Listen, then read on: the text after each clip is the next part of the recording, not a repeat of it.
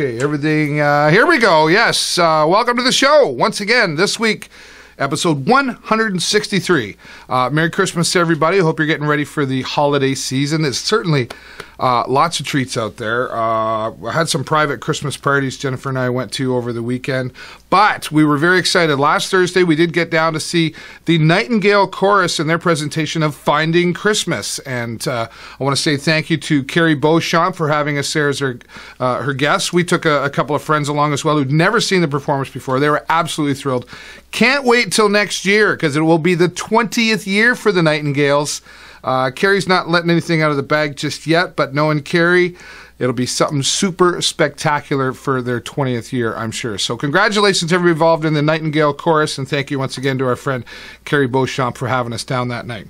All right, well, some rock and roll stuff still happening coming up Friday, December the 19th, down to Rustic. Rocket Up Sarnia is putting on a show, and Stone River is going to be there along with Time Giant the Downriver Band, and Lazy Mouth. The doors will open at 6.30. Tickets are only five bucks.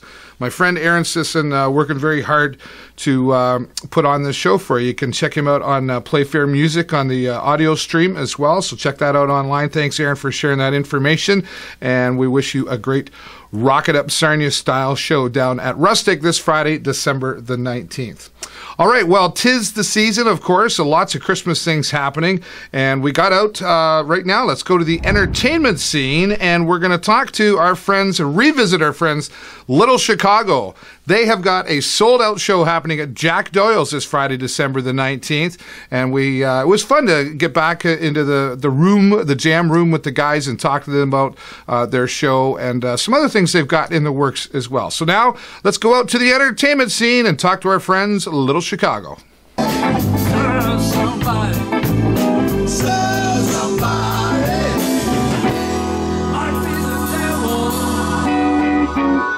All right, this week out on the entertainment scene, revisiting some of our friends. We've been keeping an eye on them, but we haven't really visited them in a while. And Lit'l Chicago, how you doing, guys? Hello. It's good to be back in this. Uh, this is, I think, the last time where we met uh, as far as uh, an interview went. And Close Rob, enough, Rob yep. Sharp, you're uh, taking the lead here. Yep. Just go around quick and reduce everybody here. Our buddy uh, Wolf on Waldo flew back in from New Brunswick just for this job. Jeff Hanen, bass guitar. Good buddy Brian McClellan on drums forever with us. And David Grennan, we can't even remember when he wasn't around. so. I remember him way back. That's another story. We've told that a couple of times. But uh, that's right, my first keyboard. Uh, Lit'l Chicago has seen some changes over the past couple of years, but uh, still holding it together.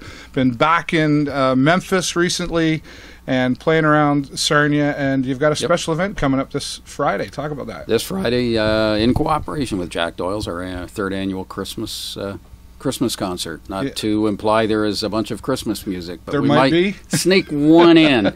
we might sneak one in. Blues style, though, probably. Eh, you never know. Buy a ticket, Little come and bit see. of little bit of Jersey soul. Buy a ticket and see. Yeah. You Yeah. guys have all been playing. I mean, Lit'l Chicago's been around a long time, and you guys have all uh, played in different bands together and had different experiences Mm-hmm. in the music world. Um, let's jump over to one of you guys. Any guys take this on? What what keeps you going in the music? What Music's challenge good. that on? It's not about the money anymore. It's about the music. Yeah. We all have we all have you know day jobs and lives and other things that are going. And Mm. we do this because of the music. We, we've we've stretched our wings a little bit past uh, past Sarnia and and uh, been really well uh, accepted in some other cities. And What other Sarnia's- cities have you been playing in? Uh, Memphis. Yeah. Uh, no, London, London is extremely good to us. Yes. London is, is, is just exceptional. Where do you us. play down there? Uh, East uh, Eastside Bar and Grill, London Music Hall, London Music Club, Nice. Aeolian Hall. Um, you won't let me put it out there just yet, but I know there's some original stuff coming. Um, do we have? Can you can you share a little teaser, a bit of what's going on with that, or when we could expect to put that out to everybody? no, No idea, no commitment here. no, we should have something out by uh, by I, I would say later on in 2015. But to be Yeah. a full Does, CD. is everybody involved in the writing as far as lyrics and music goes, or is there one person? How does that work out? Well, usually Rob comes with something he's been kind of noodling with, and then we, of course, And then Jeff changes it on me. Yeah, and then yeah, no, but we all put our own little flavor Yeah. on it. It's, it's Yeah. pretty good. It's Yeah. uh, it's uh, somewhat of a democracy. Yeah. Um, why don't you guys just shout out like who your influences would be? As Starting far with as Dave. Oh, I have so many. I, Pick one. Don't say the Beatles. I like Chuck. I like Chuck Leavell on piano. There you so go. Yeah, I dig. I dig his style. So yeah. Brian. Right on. You mean Okay. like individual players? Yeah. Yeah, or, Oh, I don't know, or, or any group. Dunbar, uh, Buddy Rich. I, I, Yeah. You know, you can pick a amp. There's tons of them out there. Great players. Cool. Anybody uh, else? I like Adele. of course you do. Where's your wig? yeah, no, like a lot of the '70s stuff came out of New York State, and that they they played their FM was different. Of course, Motown for me Yeah. was huge. You know, I had uncles that played it all the time, and that's uh, I steal stuff from that all the time. Yeah. whether I know it or not. Yeah, Cool yeah, stuff. Yeah, yeah. Oh, great stuff. Yeah. Right on. So tickets are still available. It's actually going No. quite well for you. No, they're done. You're sold out. They they sold out. That's last- amazing. Last week, yeah. Wow. Why are you so surprised? Well, no, I mean, No. you know, that's wow, that's awesome. You got to be feeling pretty good about that. Next next year, we're gonna print thirty tickets. Yeah, and say we're sold out, and then we just No, wait, wait. more VIP available. Yeah, Yeah, no, we it's we, we're like, I mean, you, all we're humbled, we're grateful. Sure, we're, that's awesome. And of course, uh, we can find you on Facebook and, and all that sort of sure jazz, can, right? yeah, yeah. Perfect. Yeah. Thanks so much, Rob. All right, buddy. Guys, all of you, thank you so much for giving me your time here. Uh, that's great. Lit'l Chicago selling out at Jack Doyle's this Friday. Maybe I don't know. We might sneak somebody. in. Nope. No, yeah, we're gonna try anyway. Uh, let's go back to the studio. We're gonna talk some more about Lit'l Chicago coming to Jack Doyle's this Friday, uh, December nineteenth.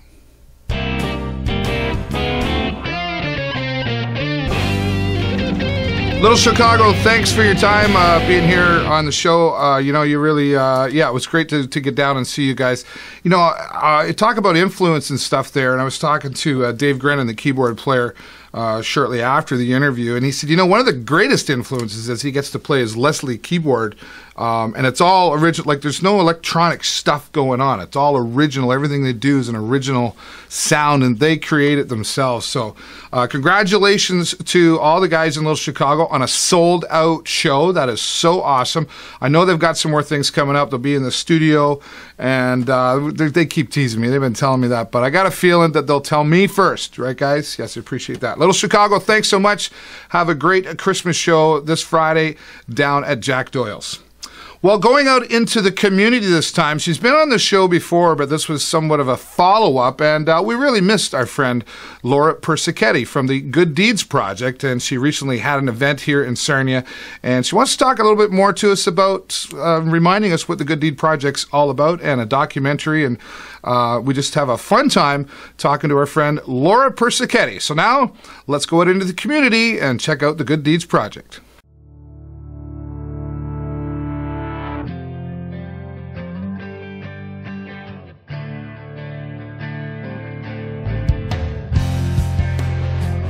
Out in the community this week, very happy to be back with our friend Laura Persichetti from the Good Deeds Project. And we've been following her and watching her online. And uh, you just had an event recently happened uh, Tuesday night. Tell us what happened there, Laura.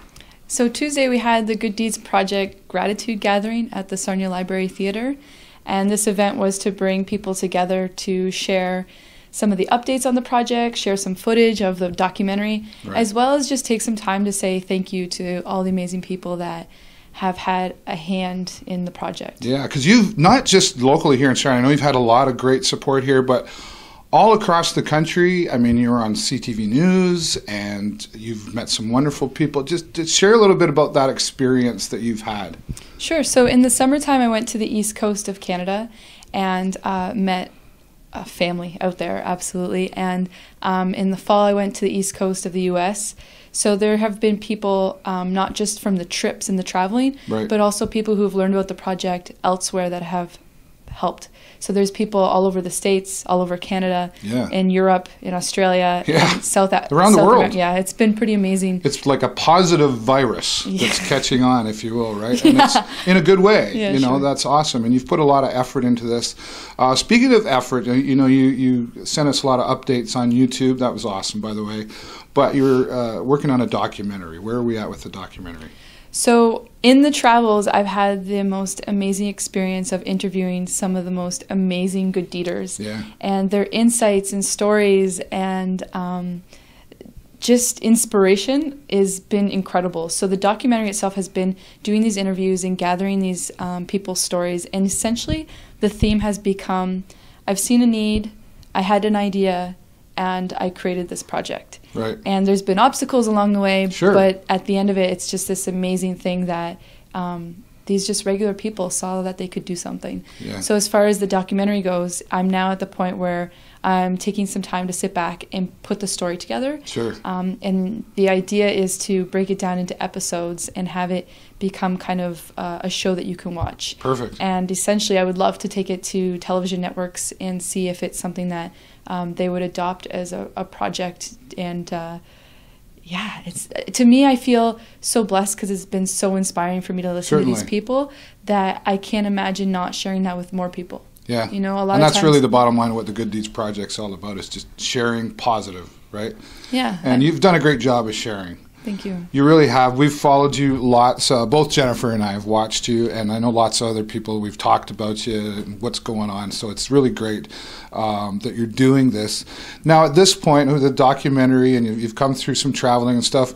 What's next for the Good Deeds Project? So right now I'm focusing on fundraising, um, and I had fundraised some money to get the gear to film, and um, I put in some money for that as well, and came home to do the editing. And when I went and so I go and bug my high school teacher who actually got me involved with with film in the first place, and now all the gear that I have doesn't match up with the computer and software I have. So Oh, now I have to like save up and and start with that. But I've been introduced to um, this really healthy coffee called Organo Gold. Oh, yes. So I've started to sell coffee and tea in order to raise money for the Good Deeds Project. Perfect. So that's uh, the step right now is raising enough money to get the gear to do the editing and then editing into episodes. All right. Well, let's see if we can help with that. Uh, let's start by giving everybody a website they can go to to find out more about the Good Deeds Project. Sure. Where does that be?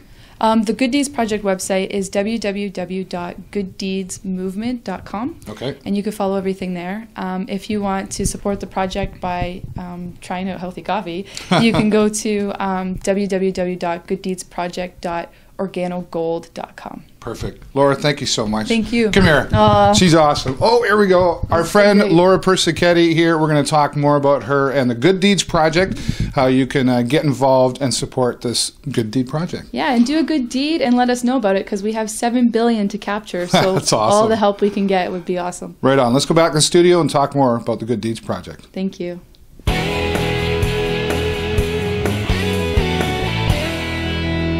All right, Laura Persichetti, thank you so much for uh, visiting us once again here on the show and giving us an update on the Good Deeds Project, a very successful event this past Tuesday. Uh, congratulations on that, Laura. And Laura's just a great, fun, positive, vibrant person to be around, and we just uh, look forward to. We check her videos out online. Jennifer and I both really enjoy uh, watching her uh, videos online. You can check that out at her website. Make sure you go to that and find out how you can get involved in the Good Deeds Project. So once again, Laura, thank you so much for being here on the show, and uh, stay in touch. We'll look forward to uh, next time we have you back. All right. Uh, apps with Mark Russell. Uh, if there's a better way to type, guess what? He found it, and he's going to talk about that right now. Our good friend Mark Russell joins us every week. And now, let's go see what he's got for us. Here's Apps with Mark Russell. Thanks, Dave. Autocorrect can make some funny mistakes, but when it's important, there's a better way to type on your phone or tablet. This week, we look at SwiftKey on apps with Mark Russell.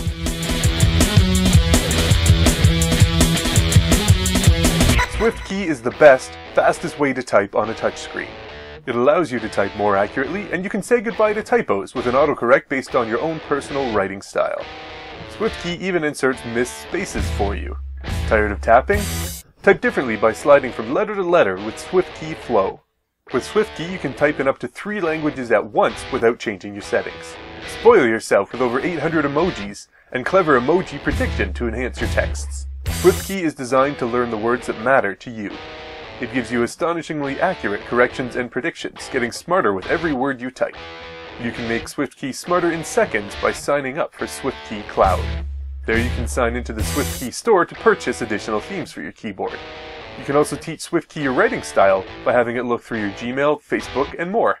Have it stay up to date with popular words and phrases added to your dictionary every day. Back up and sync your learning across different devices. SwiftKey is available for free on Android and iOS, and you can buy additional keyboards for between $1 and $5. This has been Apps with Mark Russell.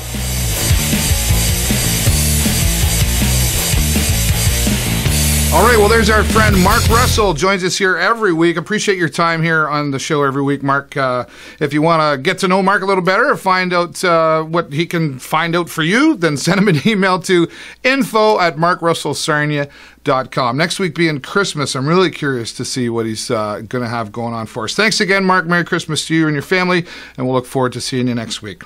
All right, it's local events calendar time. Turn it up, and here we go.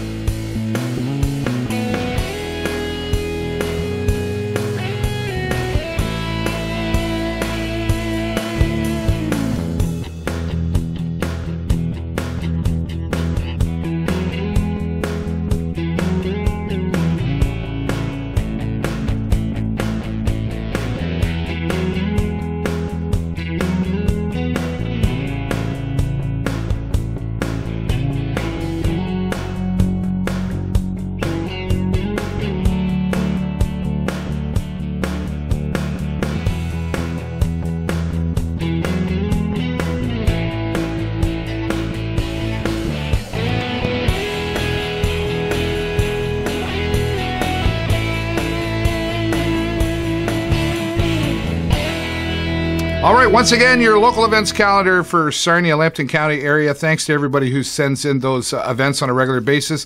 There's only so much room uh, on the uh, local events calendar, so get it to me as soon as you can if you've got a special event. And you know what you got to do two to three weeks in advance to the show at davidburrows.ws. Uh, speaking of local, I want to have some fun. Of course, Christmas coming up, and everybody's got you know one of these, right? Um, I'd like you to take in 15 seconds or less a video saying what you love most about Christmas. Okay, I don't want anything negative. I want you to tell me what you love most about Christmas. As you know, I love Christmas.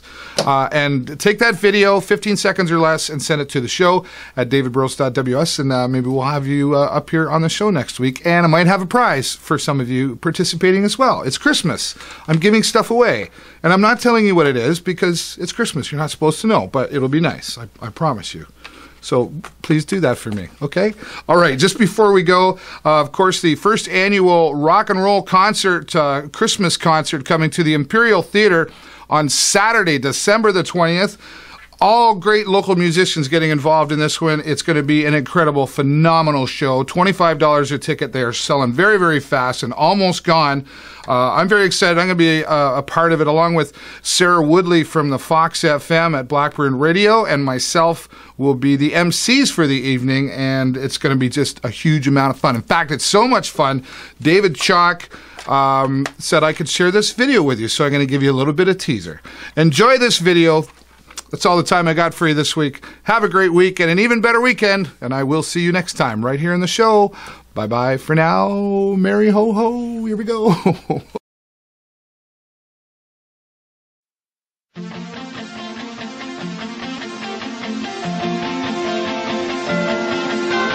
Jingle bell, jingle bell, jingle bell rock. Jingle bells and jingle bells ring. Snowing and blowing up bushels of fun. Now that jingle hop